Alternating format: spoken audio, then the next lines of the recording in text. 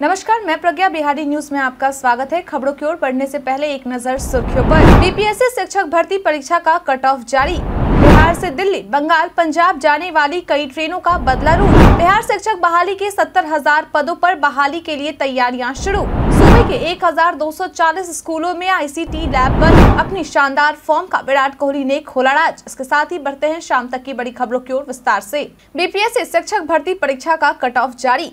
बिहार लोक सेवा आयोग के द्वारा शिक्षक नियुक्ति का कट ऑफ़ मार्क्स जारी कर दिया गया है। बता दें कि जारी किए गए कट ऑफ़ में सर्वाधिक मार्क्स माध्यमिक शिक्षकों के लिए सामाजिक विज्ञान विषय में रहा, जो अनारक्षित श्रेणी में चौहत्तर है। इसके अलावा अन्य में अनारक्षित श्रेणी में माध्यमिक शिक्षकों का कट ऑफ़ बहत्तर है। उच्च माध्यमिक शिक्षकों के लिए इतिहास का कट ऑफ़ अनारक्षित श्रेणी में सत्तर पर पहुँच गया है। भाषा विषयों में माध्यमिक शिक्षकों के लिए संस्कृत का कट ऑफ़ सबसे ऊपर अनारक्षित वर्ग में छिहत्तर रहा। उच्च माध्यमिक स्कूलों के लिए मगही और बांग्ला का कट ऑफ़ छियासठ रहा। अकाउंटेंसी का पैंसठ कंप्यूटर साइंस का तिरसठ और बिज़नेस स्टडीज़ का कट ऑफ़ इकसठ है। मालूम हो कि अधिकतर विषयों में आरक्षित वर्ग की महिलाओं के लिए कट ऑफ़ उनतालीस रहा है। ऐसे में जो लोग कट ऑफ़ देखना चाहते हैं, वह बीपीएससी की आधिकारिक वेबसाइट bpsc.bis.nic.in पर जाकर देख सकते हैं।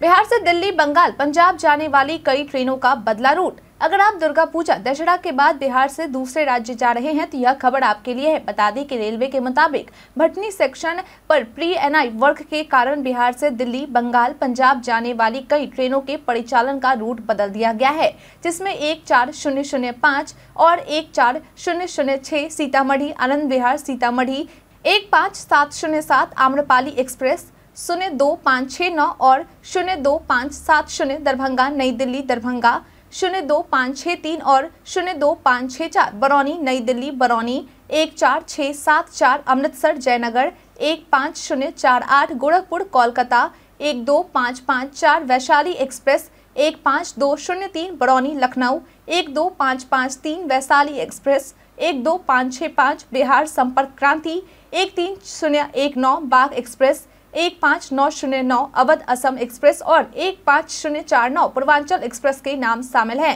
वहीं इसके अलावा एक दो पाँच तीन आठ और एक दो पाँच तीन सात पोरबंदर, मुजफ्फरपुर पोरबंदर एक्सप्रेस रद्द रहेगी।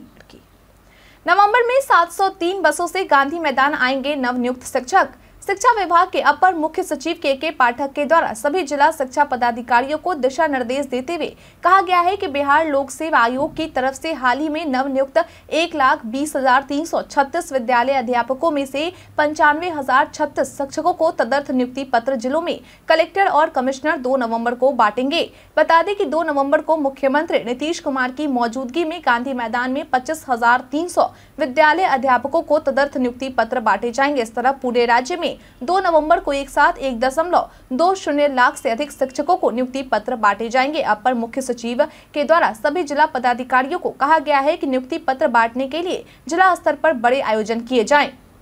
राज्य में 631 अफसरों और कर्मियों को मिला प्रमोशन बीते दिन नीतीश सरकार के द्वारा जल संसाधन विभाग और ग्रामीण कार्य विभाग में कुल 631 अफसरों और कर्मियों को उच्चतर प्रभार दिया गया है, जिसमें से जल संसाधन विभाग में कार्यरत 523 और ग्रामीण कार्य विभाग में अंठानवे अधिकारियों, कर्मियों और अभियंताओं को प्रमोशन दिया गया है।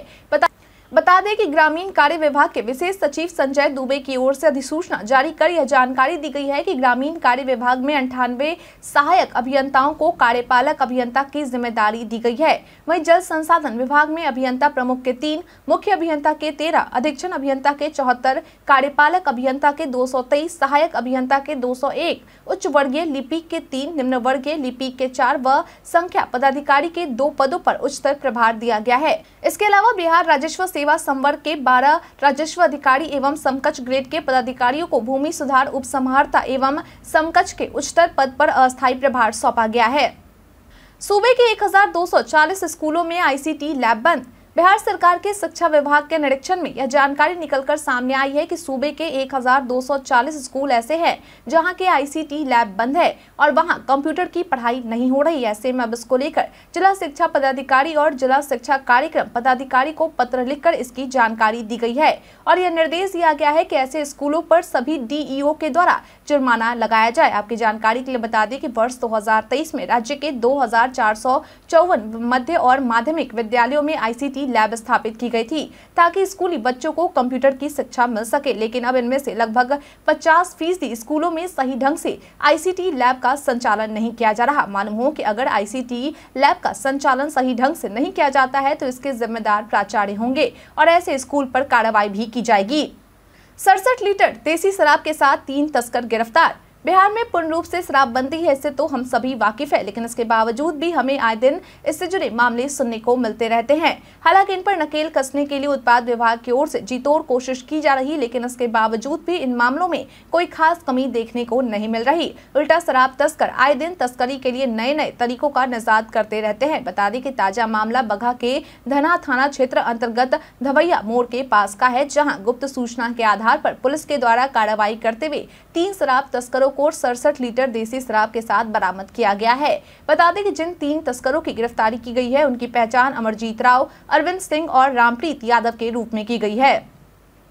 बिहार शिक्षक बहाली के सत्तर हज़ार पदों पर बहाली के लिए तैयारियाँ शुरू। राज्य सरकार की ओर से बहुत जल्द बिहार में शिक्षक के सत्तर हज़ार पदों पर बहाली निकाली जाने वाली है। इसको लेकर शिक्षा विभाग की ओर से तैयारियाँ शुरू कर दी गई है। बता दें कि सामान्य प्रशासन विभाग के द्वारा बिहार लोक सेवा आयोग को अधियाचना भेज दी गई है। बता दें कि इन सत्तर हज़ार पदों में माध्यमिक, उच्च माध्यमिक शिक्षकों के सैंतीस हज़ार सात सौ दस पद और मध्य विद्यालय के शिक्षकों के इकतीस हज़ार नौ सौ पद है। वही मालूम हो की शिक्षा विभाग का मानना है की सत्तर हज़ार पदों पर बहाली पूरी होने के बाद राज्य सरकार पर वित्तीय बोझ सालाना 5,512 करोड़ रुपए का अतिरिक्त खर्च आएगा। बता दें कि मीडिया में चल रही खबरों के अनुसार आयोग की तरफ़ से नई टीचर बहाली का विज्ञापन अक्टूबर के अंतिम या नवंबर के पहले सप्ताह में जारी किया जा सकता है। पूर्व एमएलसी विभूति कवि के निधन पर सीएम नीतीश ने जताया शोक। बिहार के मुख्यमंत्री नीतीश कुमार के द्वारा पूर्व विधान पार्षद विभूति कवि के निधन पर गहरी शोक संवेदना व्यक्त की गई है। उन्होंने अपने शोक संवेदना में कहा है कि वे एक कुशल राजनेता एवं समाज सेवी थे। उनके निधन से राजनीतिक एवं सामाजिक क्षेत्र में अपूर्णीय क्षति हुई है। बता दें कि मुख्यमंत्री के द्वारा दिवंगत आत्मा की चीर शांति तथा उनके परिजनों को दुख की इस घड़ी में धैर्य धारण करने की शक्ति प्रदान करने की ईश्वर से प्रार्थना की गई है। इसके साथ ही बिहार विधान परिषद के सभापति देवेश चंद्र ठाकुर के द्वारा भी कांग्रेस के वरिष्ठ नेता एवं बिहार विधान परिषद के पूर्व सदस्य विभूति कवि के निधन पर शोक व्यक्त किया गया है। जनसंपर्क विभाग के तेरह अधिकारियों को मिला उच्चतर प्रभार। बिहार में विभिन्न विभागों में सरकारी अधिकारियों और कर्मचारियों का प्रमोशन का सिलसिला जारी है। इसी कड़ी में अब सूचना एवं जनसंपर्क विभाग के द्वारा एक अधिसूचना जारी की गई है, जिसमें यह जानकारी दी गई है कि बिहार सूचना सेवा के 10 सहायक निदेशक और तीन उप निदेशकों को उच्चतर प्रभार दिया गया है। बता दें कि इसमें बिहार के मुख्यमंत्री नीतीश कुमार के जनसंपर्क पदाधिकारी वीरेंद्र कुमार शुक्ल एवं मनोज कुमार के भी नाम शामिल है, जिन्हें सहायक निदेशक से उप निदेशक का उच्चतर प्रभार दे दिया गया है। बता दें कि आने वाले दिनों दिनों में भी। बिहार के विभिन्न विभागों में सरकारी कर्मचारियों और अधिकारियों के प्रमोशन का सिलसिला जारी रहने वाला है।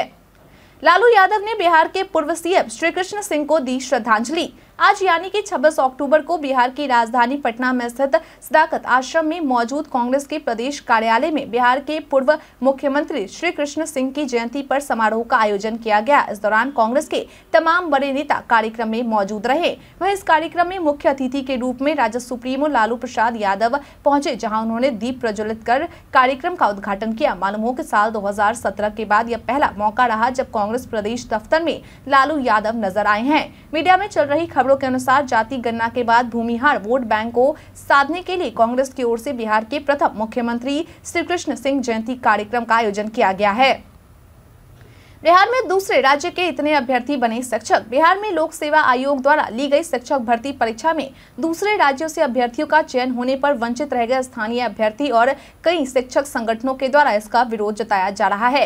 वहीं विभाग की तरफ़ से दूसरे राज्यों से चयन हुए अभ्यर्थियों की संख्या के आंकड़े भी जारी कर दिए गए हैं, जिसके आधार पर यह जानकारी निकल सामने आ रही है की इस परीक्षा में चयनित हुए कुल एक लाख बीस हज़ार तीन सौ छत्तीस अभ्यर्थियों में से दूसरे राज्यों के अभ्यर्थियों की संख्या करीब चौदह हज़ार, यानी की बारह प्रतिशत है। बता दें कि सभी प्राथमिक शिक्षक के रूप में चयनित हुए हैं, वहीं इनमें सबसे अधिक उत्तर प्रदेश राज्य के हैं और इसके अलावा झारखंड, हरियाणा आदि राज्यों के अभ्यर्थी शामिल हैं। रूप हले पर्दे पर श्रीराम की भूमिका में दिखेंगे खेसारी लाल यादव। हमने कई कलाकारों को टीवी पर राम सीता समेत अन्य किरदार निभाते देखा है, जो हमेशा से हमारे मन को मोहने वाला होता है। बता दें कि अब राम की भूमिका में भोजपुरी फ़िल्म के एक्टर खेसारी लाल यादव भी नज़र आने वाले हैं। दरअसल भोजपुरी फ़िल्म इंडस्ट्री के द्वारा राम कथा पर एक फ़िल्म का निर्माण किया जा रहा, जिसका नाम राजा राम रखा गया है। मालूम हो किसकी एक झलक तब दिखी जब दशहरा के मौके पर खेसारी लाल यादव धनुष पान लिए नज़र आए। वहीं इस दौरान उनके साथ भोजपुरी फ़िल्म में डेब्यू करने वाले राहुल शर्मा लक्ष्मण की भूमिका में नज़र आए और माँ जानकी के किरदार में सोनिका गौरा नज़र आई। आपको बता दें किसी अवतार के साथ पराग पाटिल के द्वारा अपनी फ़िल्म राजा राम की शूटिंग कर दी, जो बेहद खास होने वाली है। आज़ादी के पहले प्रकाशित पत्रिका की पोस्टर जारी कर जदयू ने भाजपा को दी चुनौती। इन दिनों बिहार में असली रावण कौन है? इसको लेकर जेडीयू और बीजेपी में पोस्टर और कार्टून वार जारी है। इसी कड़ी में अब जेडीयू प्रवक्ता नीरज कुमार के द्वारा आज़ादी से पहले का एक पोस्टर एक्स पर जो कि पूर्व में ट्विटर हुआ करता था, उस पर शेयर किया गया है और ट्वीट कर लिखा गया है कि आगाज़ आपने किया, अंजाम तक हम ले जाएँगे। फैसला आप करें, हिम्मत है तो नकारो। प्रमाण अग्रणी पत्रिका, वर्ष 1945 संपादक नाथुराम गोडसे वित्त पोषक सावरकर अंग्रेज़ से माफ़ी मांगने वाला। ने महात्मा गांधी, सरदार पटेल, सुभाष चंद्र बोस, राजगोपालाचारी, पंडित नेहरू आदि को रावण बताया था। मालूम हो कि इससे पहले बीजेपी की ओर से मुख्यमंत्री नीतीश कुमार को पोस्टर के ज़रिए रावण बताया गया था तो वहीं उसके जवाब में जेडीयू की ओर से पीएम नरेंद्र मोदी को रावण बताया गया था। राम मंदिर को लेकर मोदी सरकार पर बरसी जेडीयू। राम मंदिर निर्माण और रामलीला की प्राण प्रतिष्ठा को लेकर जेडीयू नेता अशोक चौधरी के द्वारा केंद्र सरकार पर हमला बोला गया है। उन्होंने कहा कि अगले वर्ष 22 जनवरी 2023 को रामलला के मंदिर की प्राण प्रतिष्ठा होगी, लेकिन क्या राम मंदिर के निर्माण से देश के उन गरीब के बच्चों का भला हो जाएगा जो सुअर के साथ सो रहे हैं। उन्होंने कहा कि देश के गरीबों को रामलला से क्या मतलब है, जिन्हें सनातन धर्म से अछूत मानकर रखा है। विपक्षी दलों के इंडिया गठबंधन बनने से बीजेपी और मोदी सरकार अब देश की नाम बदलने की बात कर रहे हैं। ऐसे में अगर देश का नाम इंडिया की जगह पर भारत बोलना है तो देश के प्रधानमंत्री को हिम्मत दिखाना चाहिए और संसद में विशेष सत्र बुलाकर एक बिल लाना चाहिए। अपनी शानदार फॉर्म का विराट कोहली ने खोला राज। मौजूदा विश्व कप में भारत के स्टार बल्लेबाज विराट कोहली का फॉर्म काफ़ी शानदार चल रहा है। बता दें कि कोहली टूर्नामेंट में भारत के लिए सबसे ज़्यादा रन बनाने वाले खिलाड़ी हैं। वहीं अब उन्होंने अपने शानदार फॉर्म को लेकर राज खोला है। उन्होंने कहा कि मैंने हमेशा इस पर काम किया है कि मैं हर दिन, हर अभ्यास सत्र, हर साल और हर सत्र में खुद को कैसे बेहतर बना सकता हूँ। इसी ने मुझे इतने लंबे समय तक खेलने और प्रदर्शन करने में मदद की है। उन्होंने कहा कि मुझे नहीं लगता है कि इस मानसिकता के बिना लगातार अच्छा प्रदर्शन करना संभव है, क्योंकि अगर प्रदर्शन प्रदर्शन ही आपका लक्ष्य है तो कोई भी कुछ समय बाद संतुष्ट हो सकता है और अपने खेल पर काम करना बंद कर सकता है। मेरा मेरा लक्ष्य हमेशा बेहतर होना रहा है, न कि उत्कृष्टता का पीछा करना, क्योंकि ईमानदारी से कहूँ तो मैं नहीं जानता कि उत्कृष्टता की परिभाषा क्या है। उन्होंने कहा कि इसकी कोई सीमा नहीं है, न ही कोई निर्धारित मानक है कि जब आप यहाँ पहुँचोगे तो आप उत्कृष्टता हासिल कर लोगे। अब बढ़ते हैं आज के पाँच सवाल की ओर। हमारा पहला सवाल है मुख्यमंत्री नीतीश कुमार के द्वारा नव नियुक्त शिक्षकों को नियुक्ति पत्र कब दिया जाएगा? ऑप्शन ए एक नवंबर 2023, ऑप्शन बी दो नवंबर 2023, ऑप्शन सी तीन नवंबर 2023, ऑप्शन डी चार नवंबर 2023।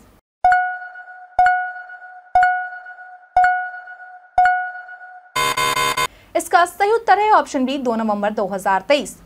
अगला सवाल वर्ष 2023 में राज्य के कितने मध्य और माध्यमिक विद्यालयों में आईसीटी लैब स्थापित की गई है? ऑप्शन ए 1240, ऑप्शन बी दो ऑप्शन सी 2002, ऑप्शन डी दो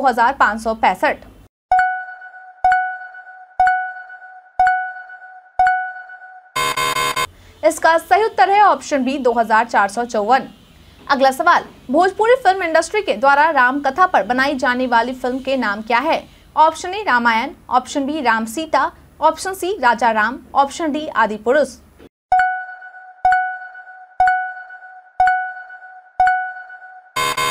इसका सही उत्तर है ऑप्शन सी राजा राम अगला सवाल, अग्रणी पत्रिका के संपादक कौन थे? Option A Nathuram Godse. Option B Savarkar. Option C Rajagopalachari. Option D Mahatma Gandhi.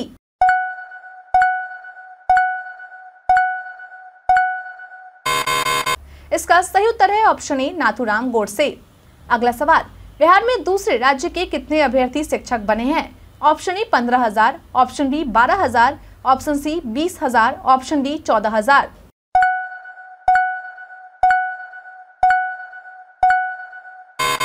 इसका सही उत्तर है ऑप्शन डी चौदह हज़ार।